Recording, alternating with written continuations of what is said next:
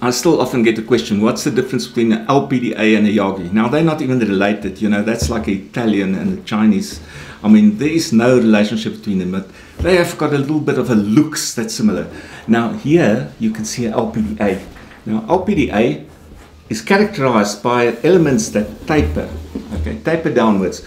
Um, for those who look a little bit more carefully, you will also see that the feed line goes here, feeds it, and all the elements are effectively fed by a dual boom.